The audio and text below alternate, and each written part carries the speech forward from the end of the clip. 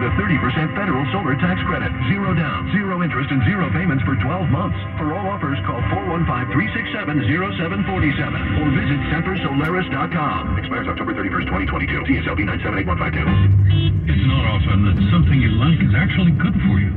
Take sleeping on your side. Studies indicate that side sleeping can help with nighttime breathing. At European Sleepworks, they have many options. Sleepers create the comfort and stability they need. From their unique contoured mattresses to their patented custom oxygen pillows. After all, for over 50 years, they've been working on your side. And that's a good thing. European Sleepworks at Adeline and Ashby in Berkeley or online at sleepworks.com. KCBS News Time 1258. Uh, Carolyn Burns, how's it looking?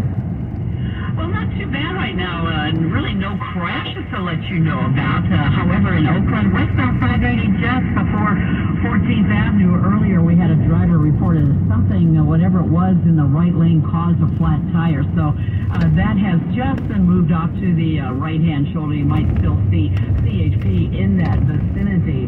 Uh, right now, we're just getting word, too, that they have issued a wind advisory on 580 along the Altamont Pass, and also it's in effect for the Antioch Bridge and along Highway 152 between I-5 and Dinosaur Point. So at the moment, if you're of those areas, definitely keep both hands on the wheel. If you're heading across the uh, Golden Gate Bridge in the northbound direction, just be aware that uh, three lanes are shut down from the toll plaza to right around mid-span, but it looks like everything's up to the limit. Your next traffic update's at 108 on the traffic leader, KCBS. Yeah, some clouds and fog this morning. It will be sunny and breezy,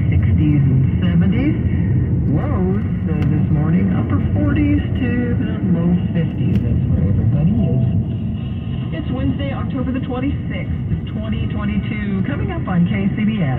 I'm Keith Menconi checking in on how the South Bay fared after the largest earthquake to strike the region in years. I'm Kris Ankarlo tracking the success of the Shake Alert app the candidates in Pennsylvania's closely watched Senate race held their one and only debate last night. I'm Elisa Clancy. CBS News covers the world. Coming up next.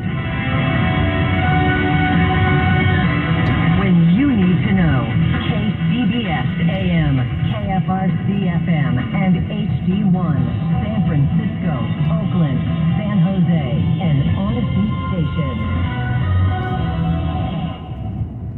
1 o'clock. CBS News on the Hour, presented by Indeed.com. I'm Christopher Cruz in Washington. Tuesday was debate night in the U.S. Senate race in Pennsylvania. Democrat John Fetterman versus Republican Mehmet Oz, and CBS's Robert Costa was there. On the economy, Fetterman said he would be an advocate for working people. Oz said he would try to revive businesses in Pennsylvania and provide a growth environment on crime, Oz said he has the support of many police groups and not Fetterman's experience as mayor of a small town. Fetterman, the lieutenant governor, said he's done a lot to combat gun violence in Pennsylvania. The debate aired on News Nation. It was also debate night Tuesday in the New York governor's race.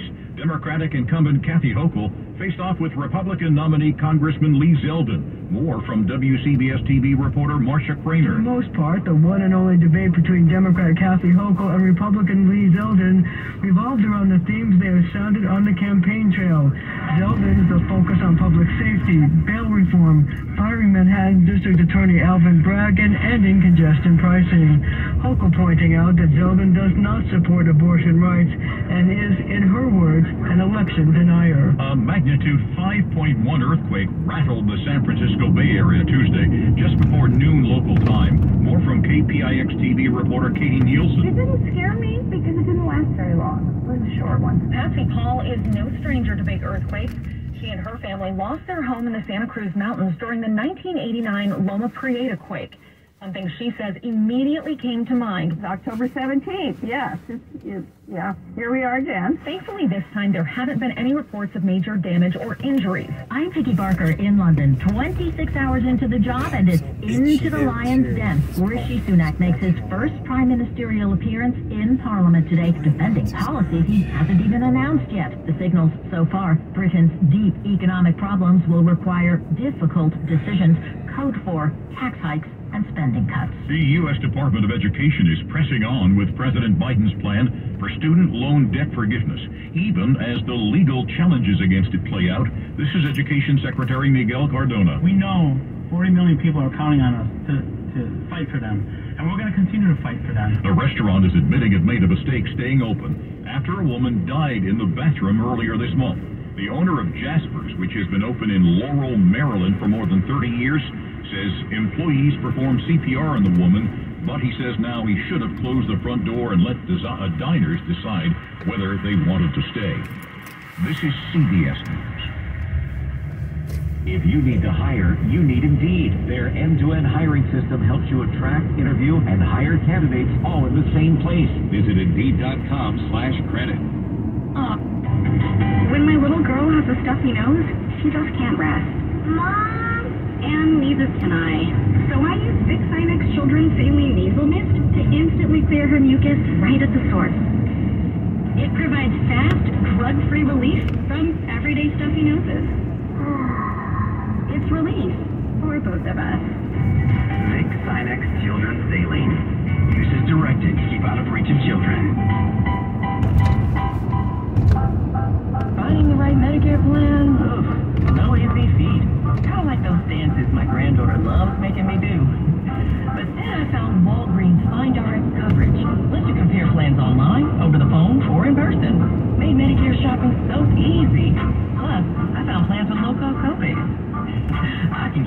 With that.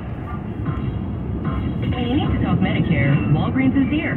Start shopping today at walgreens.com slash Medicare. History has been made on the Billboard Hot 100 chart. German singer Kim Petras has become the first publicly non-binary and transgender artist to hit number one on the Billboard charts, thanks to her collaboration with Sam Smith. Unholy debuted earlier this month and spent a few weeks at number two before topping the chart on Monday. But Petras isn't exactly a newbie in the music industry. She's released singles for years and worked with other big stars like Beyonce. She tells Entertainment Weekly she may be the first, but hopes she's not the last trans artist to top the charts. Monica Ricks, CBS News. The House January 6th Investigating Committee has been interviewing former longtime close Trump aide Hope Hicks. Although Hicks didn't play a major role in the Trump administration's response to the insurrection, she was working in the White House at the time. Oh, Christopher Cruz, CBS News. Right. Yeah. It's 105 at the Bay Area's news station, KCBS. Now the clouds and fog are back, uh, partly uh, along the coast. It'll be sunny and breezy Yeah, today, going up 60s right and low 70s. Good morning, I'm Elisa Clancy. And here's what's happening at this hour. It was a mighty jolt, but no reports of injuries or damage from that 5.1 earthquake that struck east of San Jose just before noon yesterday. KCBS's Keith Menconi surveys the aftermath. It's the strongest quake that the Bay Area has felt since the damaging Napa earthquake that struck in 2014. This time, it seems like we've gotten off relatively easy. Nothing broke miraculously. It's just a just enough to really get my attention. I got up and was headed for the doorway, and it backed off. Those are just a few of the people who called into KCBS to report their quake experience from as far afield as the Central Valley. But, damage or no, this is a quake that many residents will remember for some time. That one lasted longer than they usually do, so I knew this was a good shaker for sure. Meantime, Anne-Marie Baltay with the U.S. Geological Survey says it appears that the quake was centered on the Calaveras Fault Zone, which has quite the history of shakers.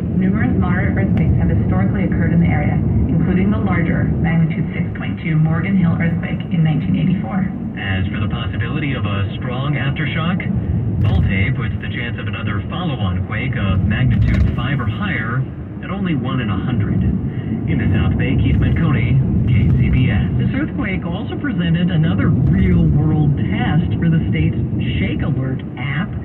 KCBS's uh, Kris Ankarlo is track tracked how well it worked. The Shake Alert system went online in California three years ago, and this was the biggest test in the Bay Area. Richard Allen is the Associate Director of the Seismic Lab at UC Berkeley. I can see that many people received that message before before they felt the shaking. Dr. Anne-Marie Baltay is a seismologist with the USGS. She says the system generated an alert five seconds after the USGS detected an earthquake with an estimated magnitude of